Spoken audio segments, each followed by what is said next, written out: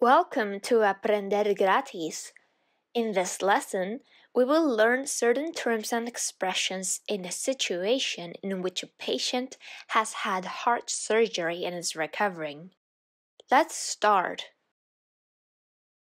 The patient has received a heart transplant. The doctor says the surgery has turned out just as expected.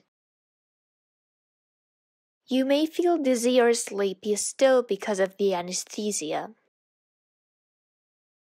In your medical history, it says you're diabetic. Your risk of heart attack has been reduced by 90%. Your heart rate is normal. According to our information, your blood type is O negative. Is that correct? You will come out of the intensive care unit soon. If you think you may have a blood clot, take an aspirin. The patient has received a heart transplant.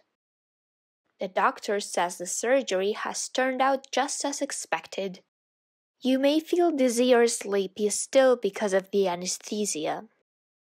In your medical history, it says you're diabetic. Your risk of heart attack has been reduced by 90%. Your heart rate is normal. According to our information, your blood type is O negative. Is that correct? You will come out of the intensive care unit soon. If you think you may have a blood clot, take an aspirin. Heart transplant. Heart transplant. Surgery. Surgery. Dizzy. Dizzy anesthesia